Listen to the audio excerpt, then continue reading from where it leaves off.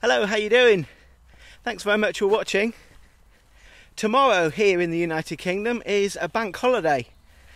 But you wouldn't think it because the sheer mention of a holiday here and it usually throws it down with rain. But for the last couple of days we've been baking in fantastic sun all day long.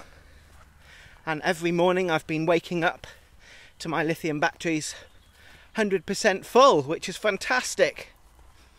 But of course, every day isn't as sunny as this.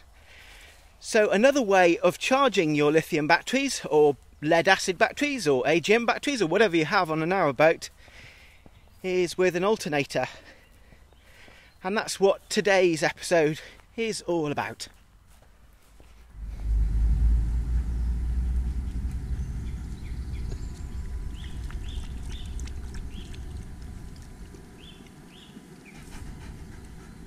The engine on my narrowboat has two alternators, a 75 amp for the starter battery and bow thruster, and a larger 175 amp for the leisure batteries.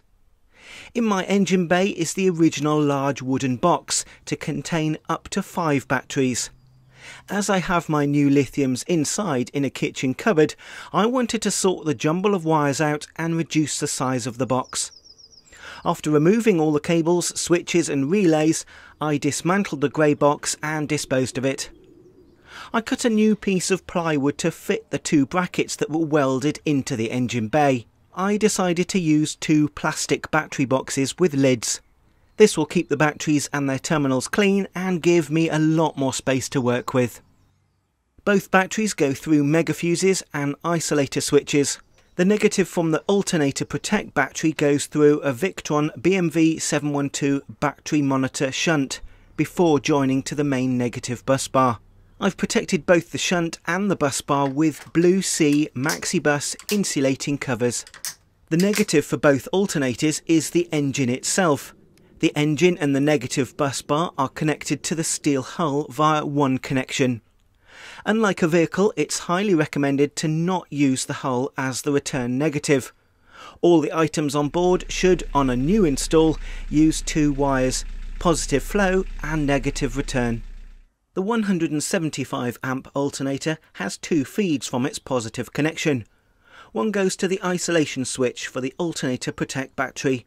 The other, along with a negative from the bus bar, are protected in plastic corrugated conduit through the bulkhead and into my lithium cupboard. The positive connects to a fuse on the bus bar. Alternators, although regulated to a certain degree, can treat lithium batteries a little harshly. Lithiums can take a much higher charge current and for longer, and that has an effect on the alternator. The recommended charge amperage for each of my 100 amp hour batteries is at or below 50 amps. Although you can throw 300 amps at them and they will charge, I wanted to look after my new lithium batteries as well as my alternator. After a lot of testing, I've decided to use a Victron BMS 12200.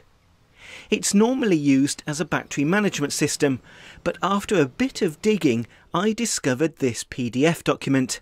With the use of the alternator control cable, it ignores the battery management system part of the unit and instead performs two key functions that I was looking for. I can regulate the charge current from the alternator with the value of a megafuse. The charge value is around 80% of the fuse's value, and I can go as low as 40 amps and as high as 200 amps.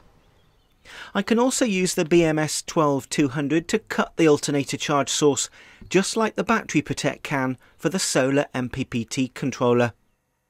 The negative from the engine bay connects to the far left terminal of the BMS 12200. It goes via the fuse, and there is a short length of 50mm cable from the middle post to the negative of the lithium bus bar. The alternator cable connects to both a spade connection on the BMS 12200 and a 3-pin plug. The BMS 12200 requires a constant positive and switched positive feed from the main lithium battery management system. If you suddenly cut the load whilst an alternator is running, for example if the batteries were full, it can damage the alternator. So to avoid this, I have used one of my previous lead acid batteries as a bit of a power dump protector. I will need to have a small load on this lead acid battery however, otherwise it won't provide that dump load protection if it's totally full all the time.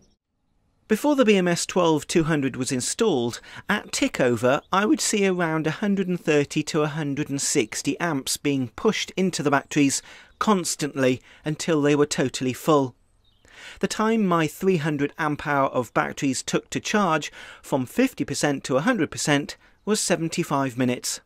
After testing the BMS 12200 with a 150 amp, 175 amp and a 200 amp fuse, I decided to stick with the maximum of 200 amps. This reduced the load on the alternator and you could hardly feel any difference when it was in load, and it worked fine at tickover.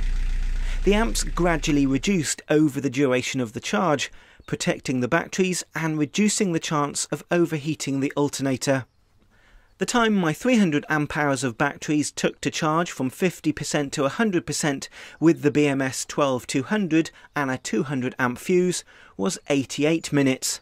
Although this is slightly slower, I've added the ability to cut the charge automatically as well as reducing the charge current over the course of the charge.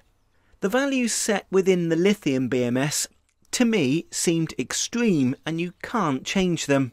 The lithium BMS has a fixed overvoltage cutoff of 4.2 volts in any one cell. It has a fixed undervoltage cutoff of 2.5 volts in any one cell. However, I already have the kit to tackle this. In my true belt and braces approach, I wanted to change these voltages. I knew all it would take for the charge or load to be cut is the disconnection of their positive feeds. This would cut both the solar MPPT and the alternator in the event of a high voltage, and the load if the voltage got too low. The BMV 712 battery monitors are already installed, measuring the amps in and out, the voltages and the percentage left in the battery bank. Inside the battery monitor is a small relay, so I wired the positive feed from the lithium BMS via the relay. It's recommended the Victron lithium batteries reach 14.2 volts during their charge, so the battery's internal circuitry can balance the cells. Within the settings area of the BMV 712 there is a relay tab. I changed the relay to charger mode, inverted the relay, set the relay off delay to 3 minutes, and then set the high voltage relay to disconnect the relay when it's at 14.3 volts. After a bit of tweaking, the batteries reached 14.3 volts for 3 minutes, and then the charge sources are turned off no high cell voltages of 4.2 volts. Now to deal with the low voltage. I already have a second BMV battery monitor connected to the Alternator Protect lead acid battery. The monitor has the ability to monitor an auxiliary or starter battery, so I've wired this connection to the bus bar of the main lithium bank. Once again in the settings, I change the relay to charger mode, inverted the relay, set the relay off delay to 3 minutes, and then set the starter voltage relay to disconnect the relay when it's at 2.9 volts. The relay of this second battery monitor disconnects the load positive feed from the lithium BMS. This doesn't deal with the multi-plus inverter however, so I need to look into a way of automatically disconnecting that too. However, the low voltage will be a very, very rare event, as I don't let my batteries go below 50% to increase their lifespan, plus there's always a little bit of charge from my solar panels, even if it's a horrible winter's day.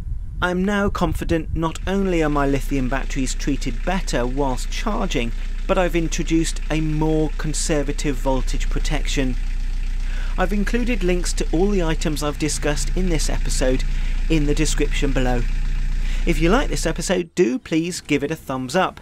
If you've not already subscribed, hit that subscribe button and click the bell icon to be notified about all my future episodes. Until next time, see you later.